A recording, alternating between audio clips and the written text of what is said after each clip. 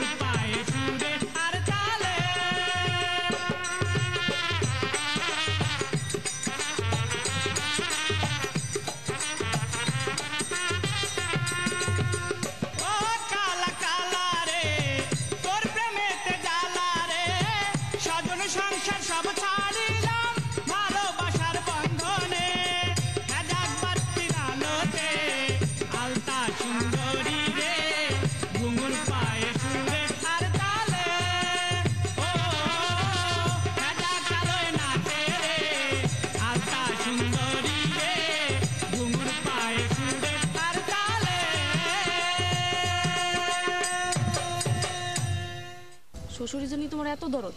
শ্বশুরের মেয়ে যে তোমার জন্য মাসের ধরে কত কথা শুনতেছে সেদিকে তো তোমার একটুও খোঁজ নেই। এটা তুমি কি করছ মাসুমা? সাক্ষীর জন্য তোমাকে আসপের কই নাই। আমি বিষ খাইলে আমার ভাই ভাতটাই দিয়ে দিবে কিডা।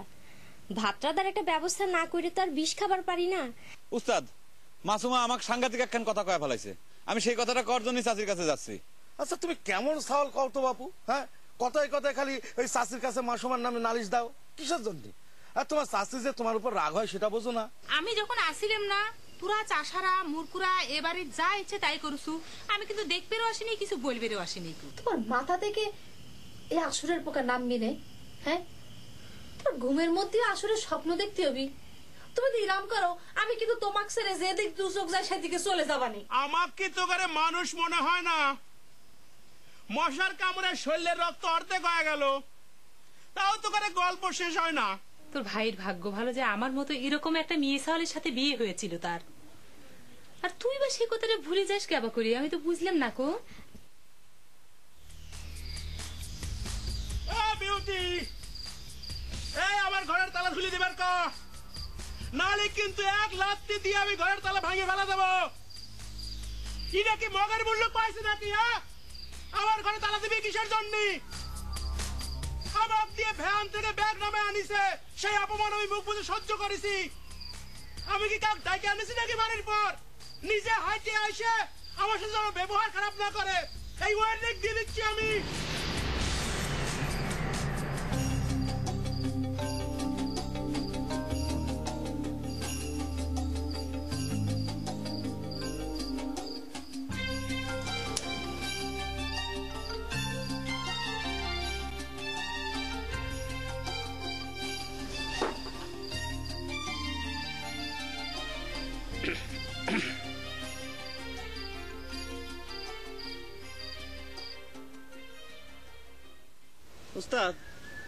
আমি কই কি শোকের মাথায় একটা ঘটনা ঘটে গেছে।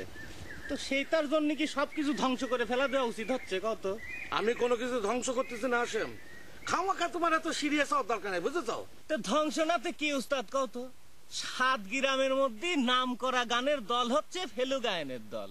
সেই দল যদি বন্ধ হয়ে যায় তো সেইটাক ধ্বংস কব না লসের বিয়ে ডাক কব ধ্বংস? কত গানের দল নিয়ে তোমারও তো চিন্তা করবে দরকার নেই আসেম। আমাদের দল চিন্তাটা আমাদেরই করতে দাও। চিন্তা তুমি যত খুশি করো গা সে তাহলে আমারই বা কি কর আছে আর কারেরই বা কি কর আছে। তাই বলে গানের দলটা বন্ধ করে দিয়ে বসে চিন্তা করা লাগবে। এটি তো আমি কিরামবাসী হয়ে মানবে পারতেছি না। কি নসুব হইলেন?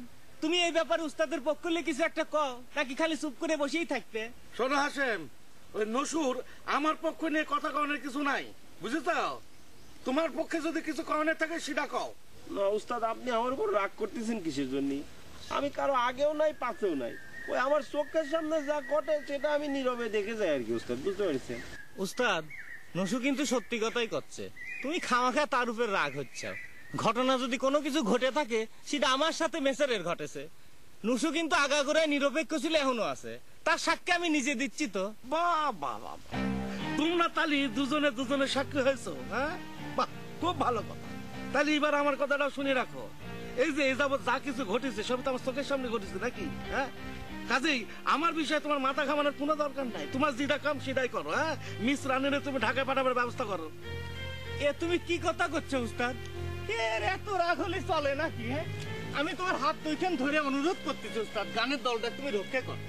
ভরা মৌসুম হ্যাঁ? চারদিক দিন কত লোক যে আমার কাছে খবর পাঠাচ্ছে তুমি তা কল্পনাও করবে পারবে না। উস্তাদ হাসিম ভাই কথাটা মিথ্যে করেনি উস্তাদ। যা হবার হয়ে গেছে উস্তাদ। আপনি মাথা ঠান্ডা করে কোনো একটা ব্যবস্থা করেন উস্তাদ। নুসু ন্যায্য কথাই কয়েছে যে করেই হোক তোমার গানের দলটাকে রক্ষা করাই লাগবে হ্যাঁ? বাহ, বাহ, বাহ, বাহ। তাহলে তোমরা দুজনে আমার গানের দল রক্ষা করবে চাও না? হ্যাঁ চাই। বাহ বাহ খুব ভালো কথা। তাহলে আমি যেটা করছি সেটা শোনো। কও। ওই ঝামেলাগুলো ওই ভেজালগুলো নাকি বিদায় করো বুঝতে হ্যাঁ তারপরে আমি যদি পারি আগের মতো গানের দল করবার, করব, না হলে নাই। এখন তোমরা যাও, এসব নিয়ে আমার কথা কথা ভালো ঠেকতেছে না।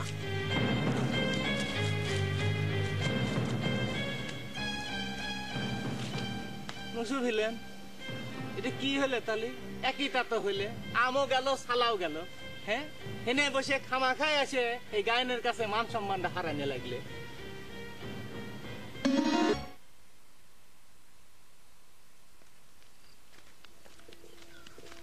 এই যে লাইফ সাহেব আপনারই খোঁজ করতেছিলাম।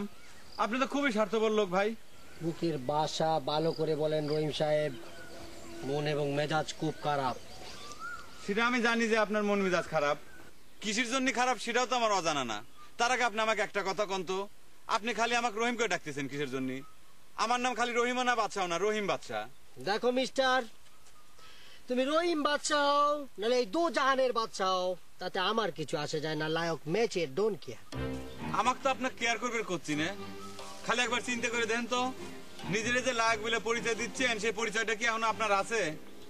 দেখো রহিম বাচ্চা আমাকে শিল্পীকের ব্যাপারে আমি তোমার সাথে কোনো কথা কবে চাই না। আমি তোমার জিজ্ঞেস করতেছি এই প্রকাশ্য দিবালকে রাস্তার মধ্যে খায় তুমি আমাকে স্বার্থপর করে কিসের জন্য? কলাম কিসের জন্য আপনাকে নিজেকে জিজ্ঞেস করে দেখেন? কোনো উত্তর পাচ্ছেন না তাই তো? ঠিক আছে আমি কয়া দিচ্ছি। সামান্য একজন জুয়েরি আর ভিলেনের কথা শুনে আপনি উস্তাদের সাইডে চলে গেলেন। এটা কি একটা স্বার্থপরের মতো কাম হইল না কন? এই প্রশ্নটা আমি আপনার বিবেকের কাছে করলাম কন তো? কি করব রহিম বাচ্চা? শুধু জুয়ারি আর বিলেন না তো। নতুন আলতা সুন্দরে আমার সাথে আসর করবার চায় না সেটার কি হবে? আপনি ওইসব বিড়ি খাওয়া মেয়ের কথা বাদ দেন তো। শোনেন আমি একটা কথা কই। আমার কথা মন দিয়ে শোনেন।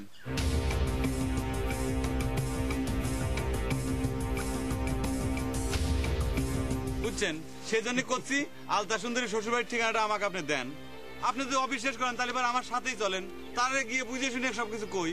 তার কাছে গিয়ে কোনো লাভ হবে না রহিম বাচ্চা। কামাকা তার সুখের সংসার নষ্ট করার কি দরকার রে ভাই?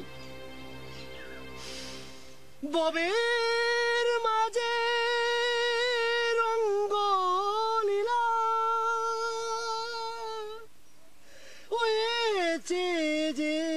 সঙ্গ।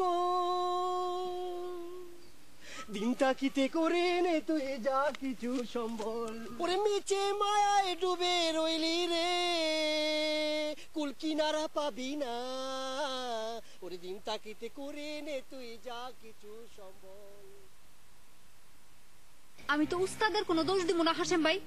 আমি মনে করি সব দোষ তোমাগো। হাসতে? তুমিও তো দেখতেছি ওই একই কথা করছ। তাই তোমার আর মেসের মধ্যে পার্থক্য কি থাকলে? তার সাথে তো আমার কোনো পার্থক্য থাকবোই না। হেউ শিল্পী আমিও শিল্পী। তাহলে আর আমি তোমার মধ্যে হেনে বসে খামাখা ফেদা বেসাল পারতেছি কি জন্য নসিব হইলেন হ্যাঁ? তোমরা তোমরা তো সব একই হয়ে গেলে মাঝখান তো আমি হইলাম পর তাই না? আরে বাধ্য তো ভাই এখন মান অভিমানে শোয় না বুঝতে পারিস এই পরিস্থিতি কি করা যায় সেটা হচ্ছে আসল কথা। মিশ্রানি তুমি হচ্ছে আমাদের শেষ ভরসা। তুমি পারো আমাকে দলের মানুষদের বাঁচাইতে আমাদের দলটারে বাঁচাইবার।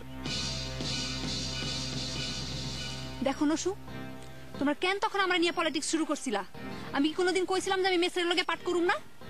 তোমাকে নিজে করে আগের ঝাল কেন আমার উপর দিয়ে উঠাইতেছো? যা হর হয়ে গেছে সে কথা তুলে আর কি হবি? মিশ্রানি এখন কি করা যায় সেটার একটা বুদ্ধি দাও। আমার কাছে কোনো বুদ্ধি শুদ্ধি নেই। না মিস রানী এখন তো বুদ্ধি নাই করলে চলবি না নে? ওদিক ফেলু গান গানের দল বন্ধ করে দিচ্ছে। হোক তাইতে আমার কি? আমি কি পথে বসে মরুম নাকি? শোনো হাসেম ভাই তুমি আমার পাওনা মিটাইয়া দাও আমি চইলা যাই। তারপর তোমরা বসে বসে পলিটিক্স করো ও হইলেন কিছু করছ না তো?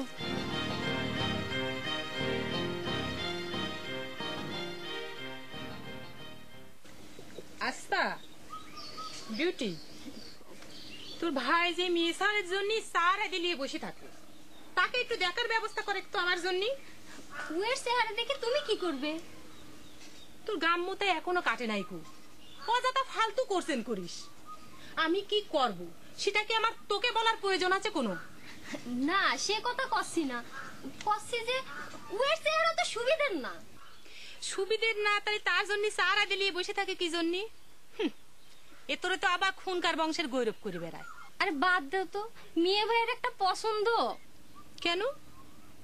আমাকে যখন পছন্দ করেছিল তখন তো তার পছন্দ ঠিকই ছিল। এখন তার আবার দৃষ্টিভঙ্গি এত পরিবর্তন হলো কীরকম করে?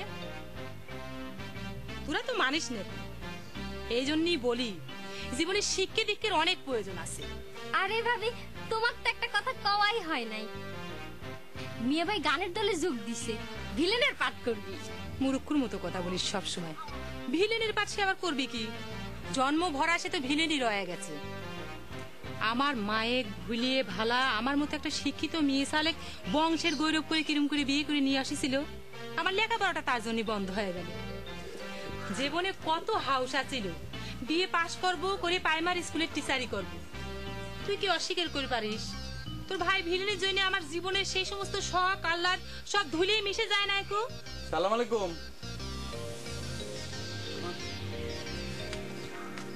সালাম দিছিলাম। ইটা কিটা আপনার বড় বোন না তো না তো? আপনার বড় বোনের তো আমি চিনি। তার ছবি কেন আমার বুকের ভিতর বাঁধানি আছে। এটা আমার ভাবি হয়। আর আপনি বাড়ির মধ্যে ঢুকলেন কেবা করে? বাড়ি দেখলে কি হবি নি? যা হয় হোক আপনার কাছে আমার জরুরি দরকার আছে। ভাবি আছে ভালোই হইল। আপনার এরকম সুন্দর ভাবির গায়ে আপনার গুয়ার ভাই হাত তোলে। আপনার কি সব কিরা কয়? এই আর আপনি বাড়ির মধ্যে ঢুকলেন কেবা করে? আপনি আমার ভাই রাগ জানেন না? জানি। একদিনে এই গ্রামে মেলা মানুষকে আমি চিনে ফেলেছি কিন্তু আমার জরুরি কথাতে কয় লাগবি ভাবি সামনে কই। আপনারা কিন্তু আমাকে অবিশ্বাস করতেছেন বুঝছেন? এই আপনি যান তো যান। ভাই দেখলে বিপদ হবে নি আপনি যান। তুমি ওর সাথে জুলুম করতেছো কিসের জন্য বিউটি আমাকে আসেন? আপনি এখানে বসেন তো। আমি শুনব কথা। আপনি বসেন। তুমি আমাকে যাও। যাও বলতেছি। হ্যাঁ তুমি এখানে বসো। কি বিত্তেন তো কি? আমাকে বলেন তো। তোরা যে গান করবে না করে উঠে গেছিল? তাতে কি তোরা আমাকে খুব বড় করেছ মনে হয়?